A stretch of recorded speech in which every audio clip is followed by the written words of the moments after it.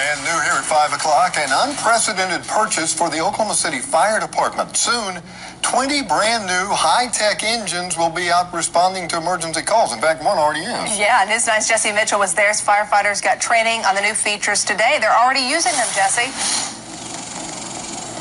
That's right. Station 2's truck just went out on a call, so we aren't able to show it to you live. But taxpayers spent money from MAPS 3 on this project, and at $500,000 apiece, they come with all the bells and whistles.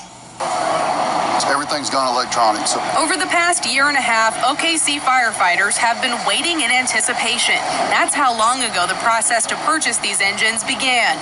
Built from the ground up to the department's desires, they weren't disappointed. Everybody's smiling as they're, as they're walking around and training and seeing all the new features, and it's a wonderful thing. It really is. The trucks are equipped with more horsepower, brighter LED lights, and far more advanced technology than their predecessors, including safety features from seatbelt and compartment door sensors to backup and turn signal cameras. It gives you a little pride and ownership in your equipment when it's brand new. Uh, you're going to take extra care of it. 15 of the 20 new trucks are traditional engines, but the other five are Wildland Urban Interface engines that can spray on the move, much like a brush pumper. Those are stationed around the outlying areas of the city.